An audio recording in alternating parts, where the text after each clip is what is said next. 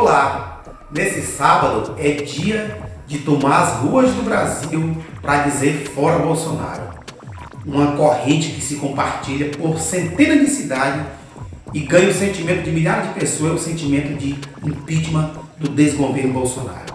O Brasil hoje alcançou a triste marca de 215 mil mortos. 215 mil famílias sofrendo que perderam seu ente querido pela maior tragédia humanitária da história do Brasil nos últimos 100 anos. São 9 milhões de infectados. E o presidente o que é que faz? Ao invés de liderar, ele trabalha contra as ações. Ele debocha, é, contraria a medicina e deixa de executar ações que possam diminuir o transtorno e a dor do brasileiro. Manaus está um caos humanitário. O presidente mandou, sequer foi lá, o presidente mandou o ministro da Saúde lá promover a cloroquina, enquanto a necessidade lá era leite de UTI e oxigênio.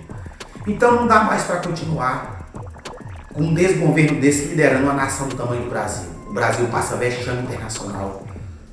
Nós somos o segundo país no número de infectados e de mortos. E o presidente até hoje, depois de um ano, continua negando a, a seriedade e a gravidade da pandemia.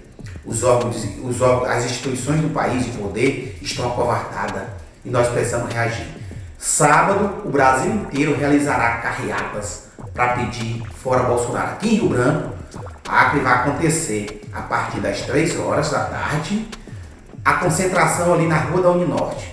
Tá? Então você pegue sua moto, seu carro, vamos percorrer a Rua de Rio Branco para contagiar o povo com esse sentimento de insatisfação e dizer que não aguentamos mais um governo genocida, criminoso e irresponsável como Bolsonaro. Aguardo vocês lá.